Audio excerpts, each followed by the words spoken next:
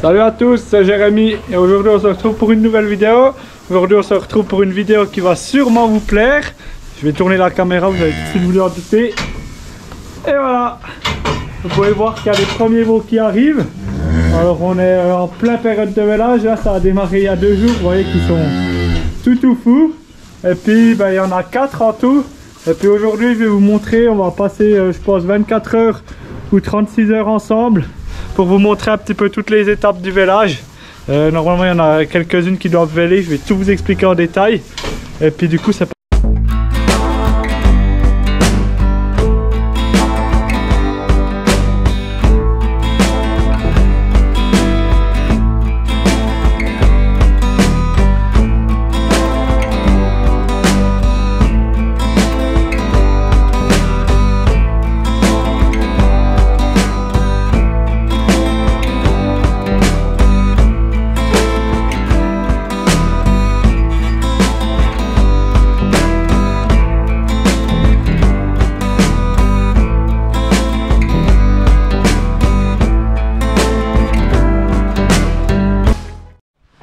aujourd'hui on est 25 mars 2022 et puis eh ben il y a les vélages qui ont commencé du coup. Tout simplement parce que du coup elles vèlent maintenant puisqu'on a émis le taureau au mois de mai-juin donc 9 mois plus 10 jours à peu près ben, c'est égal à maintenant. Et puis du coup il y a deux jours on a commencé on a eu deux vélages c'est les deux veaux qui y a là-bas. Un petit mâle celui qui tête c'était le premier euh, d'une vache d'une ces jeunes vaches. Et puis le deuxième c'est une petite genisse sa mère c'est celle-là ici avec Crochet, elle est un petit peu plus folle. Et puis ensuite, hier, on a eu euh, ce veau ici, là, encore un mâle. Sa mère, c'est celle-là ici, la noisette avec les grandes cornes. Et puis ce matin, on a eu celle-là qui a fait un veau. Et puis son veau, est euh, juste derrière, à mon avis, se cache un petit peu. Il est là.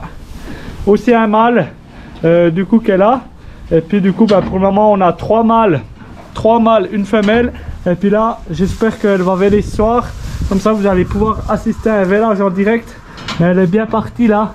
Il y a le début, les os qui sont partis. Donc à mon avis, elle va véler euh, incessamment sous peu. Du coup, ça peut être sympa. Je vais essayer de vous montrer ça. Je pense que ça va être une belle vidéo. Je vous expliquerai tout ça en détail. Du coup, c'est parti alors, première chose que je vais vous parler, c'est euh, de savoir comment on sait qu'une vache, ben, elle va véler. Alors, Déjà, le terme vélé, ça veut dire que du coup la vache va mettre veau, mais veau tout simplement.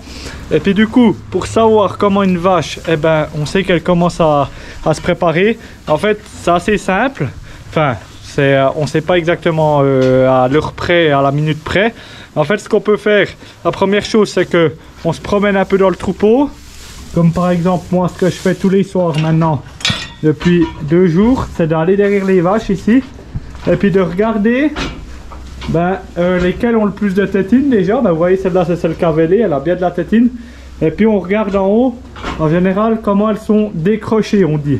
Donc en fait, c'est le c'est ce qu'il y a ici en haut qui doit être assez, assez mou. Vous voyez que celle-là, elle prépare aussi bien, elle a bien fait de l'avance.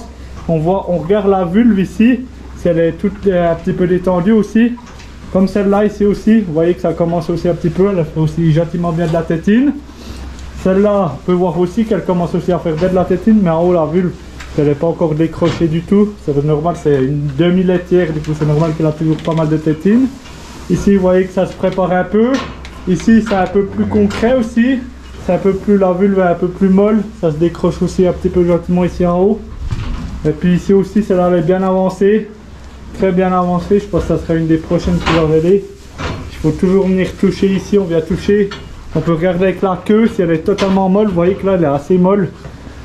Et puis ça c'est les signes. Celle-là vous voyez que ça va encore. C'est pas trop trop urgent. Enfin même si la vulve ici elle est assez dilatée. Mais ça c'est la première chose qu'on peut regarder. Du coup c'est de savoir avec la tétine. De toucher un petit peu si c'est détendu tout ça. Et puis après ça c'est les signes un petit peu visuels comme ça qu'on peut voir. Et puis après il y a encore deux autres signes de deux autres types de signes. Le premier, c'est que quand elles sont crochées, on peut aller, euh, on peut aller sentir les cornes, voir si elles sont plutôt froides ou plutôt chaudes. Si elles sont plutôt froides, ça veut dire qu'elles sont, leur température elle baisse. Et puis du coup, euh, les bêtes, quand la température elle baisse, ça veut dire qu'elles veulent préparer pour faire leur veau. alors là, je ne vais pas trop vous montrer parce que des fois, elles sont toujours un petit peu folles. avec une main, bah, c'est toujours un peu limite. Puis là, il n'y en a pas vraiment dès qu'il prépare. Mais euh, je sais que mon oncle il a touché euh, l'autre soir euh, la noisette là avec les longues cornes l'autre jour. Elle a les cornes froides, puis il l'a mis dans le box, puis elle a droit vélé. Ça, c'est un signe. Et puis un autre signe qui est vraiment hyper distinctif, qui est vraiment incroyable, en fait, c'est que quand on a déjà des veaux qui sont nés, et ben comme les deux qui sont dans le box, la noisette avec les longues cornes, puis celle qui est à côté, et ben elles vont voir vers les veaux. Et puis même si c'est pas leur veau, elles volent, elles gueulent et puis elles vont tout près des veaux. Du coup, ça c'est un signe qui dit qu'elle va faire bientôt veau. Et puis par hasard, ben il y a un bon exemple, c'est que la, noisette là, elle était, euh, non celle-là là, la 5002, la City, hier soir elle était tout comme ça avec les veaux. Je l'ai mis ici, puis ce matin ben, elle a fait veau. Puis celle-là, ben, elle faisait aussi déjà un petit peu. Puis vous voyez ben, qu'elle elle va gentiment commencer de véler. Du coup, c'est quelques signes. Après, on n'est jamais sûr de exactement quand c'est qu'elle va véler. C'est pour ça qu'il faut quand même une grande surveillance. Deux, trois points qui sont importants pour le vélage et tout ça. Ben, la première chose, c'est le tarissement, ce qui est en train de faire pour ces vaches ici. Et puis ce qu'il y a eu depuis à peu près deux mois. Donc, euh, leur donner une alimentation beaucoup moins euh, nutritive. Enfin, avec plus de fibres, plus de foin. Ben, ça, je vous avais montré qu'on a fait. Euh, ça c'est vraiment pour un bon tarissement que la vache puisse bien se reposer, la mamelle aussi. Et puis ensuite après ce qu'on a fait ici, ce qu'on n'avait pas avant, c'est de créer des box de vélage. Là vous, avez vu on en a deux. On pourrait encore mettre une barrière pour en faire trois ici. Mais là on en a fait que deux, comme ça les vaches elles ont bien de l'espace avec les veaux. Ça c'est hyper important pour que les vaches soient tranquilles elles puissent être tranquilles pour véler sans trop de bruit, calme. Et puis ça, après les veaux, ils sont aussi tranquilles, il n'y a pas les vaches qui vont dessus. On a eu des problèmes, nous, euh, les dernières années quand on vélait dedans. Après, on a vélé dehors tellement on avait de problèmes, mais que les vaches, des fois, elles, elles marchaient sur les veaux. Et puis des fois, on a eu des pertes comme ça parce qu'on n'avait pas encore le râtelier tout ici c'est beaucoup plus compliqué. Mais maintenant qu'on a fait ce râtelier, l'année passée c'était la première année où c'est qu'on les faisait véler comme ça euh, dedans. Puis ça allait hyper bien, on n'a pas eu un veau qui a été mort, pas de problème. Du coup cette année bah, c'est ce qu'on refait et pour le moment bah, les 4 veaux qui sont nés, on n'a pas trop de problèmes. Du coup les box de vélage c'est vraiment hyper important. Puis en plus on a un bon suivi si jamais on doit apporter quelque chose à la vache lors du vélage, c'est vraiment hyper important. Du coup voilà je trouve vraiment c'est important. Et puis bah, du coup voilà c'est vraiment bien ces box de vélage. Elles ont vraiment bien de la place, faut vraiment bien de la place, de la bonne paille, de la nourriture, de l'eau, tout ce qu'il faut pour que la vache se sente au mieux. Oh, il y a maintenant une autre chose qu'on doit faire une fois que la vache a vélé. Alors en général, quand la vache a vélé, on va lui apporter un seau d'eau, on va voir si le veau est vivant, on regarde quand même que ça joue. Et puis après, il y a une autre chose qu'on doit faire, je pense que vous avez vu. Donc celui-là, il les a pas, mais celui-là, il les a, vous voyez, c'est des boucles aux oreilles. Ça, on doit lui mettre pour typiquement les tracer, ouais, pour euh, justement euh, savoir qui c'est, puis euh, justement avoir un suivi tout au long de sa vie. Et puis c'est pour ça qu'on les boucle. Puis justement, je vais vous montrer comment on va faire ça tout de suite. Enfin, je vais essayer parce que tout seul, des fois, c'est un petit peu dur de montrer parce que assez, c'est pas le truc le plus simple à faire. Mais du coup, je vais essayer de vous montrer ça. Puis du coup, ouais, vraiment, c'est une traçabilité pour savoir le veau, c'est qui va, tous les problèmes qu'il a, on vient tout noter. Ça, j'essaierai de vous montrer. Euh, comment j'ai inscrit un veau sur ce logiciel, sur cette banque de données. Je vous essaierai de vous montrer aussi un peu plus tard. Mais on va essayer de boucler le veau est né euh, ce matin et que j'ai pas encore bouclé. Il vient de se coucher en plus. Du coup, j'espère que j'ai mes chances. C'est parti. Alors, pour ce faire, il nous faut deux choses. La première chose, c'est qu'il nous faut une pince ici pour boucler les veaux. Et puis après, il nous faut des boucles qu'on reçoit, qu'on doit commander avec des numéros. Puis après, il y a tout plein de trucs dessus qu'on peut mettre si jamais le nom de l'éleveur, tout ça. Et puis après, ce qu'on va faire, c'est que euh, je vais poser ma caméra puis je vais vous montrer. Du coup, après, ouais, c'est assez simple. Ce qu'on doit faire, c'est que, en fait, il y a un numéro pour devant, un numéro par derrière.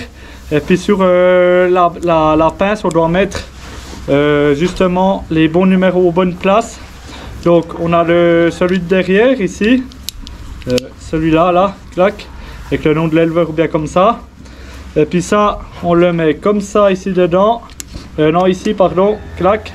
Comme ça, il tient. Après, on met celui de devant. Comme ça, celui-là, celui-là, on le met de l'autre côté comme ça.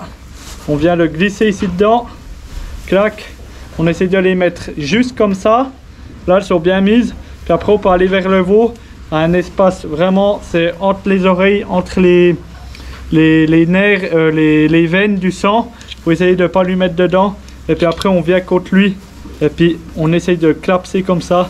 Avec la plus grande étiquette, celle de la côte devant, qu'on puisse le reconnaître. Puis la petite derrière, qu'on puisse aussi voir. Du coup, je vais essayer de vous montrer ça euh, depuis un petit peu plus loin. J'espère qu'on va voir quelque chose. Voilà, du coup, là, j'ai préparé mes boucles. Celle-là, elle va aller à droite. Parce qu'en général, c'est celle qui est à gauche avec le grand numéro. Parce que vous voyez, c'est pas les deux les mêmes comme ça. Il y en a une qui va à droite puis une à gauche pour bien les voir. Et puis du coup, on va vite aller faire ça.